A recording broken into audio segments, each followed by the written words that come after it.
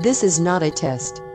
This is your emergency broadcast system announcing the commencement of the NFFA social experiment on Staten Island, New York. Weapons of Class 4 and lower have been authorized for use during the experiment. All crime, including murder, will be legal for 12 continuous hours. Blessed be our new founding fathers and America, a nation reborn. May God be with you all.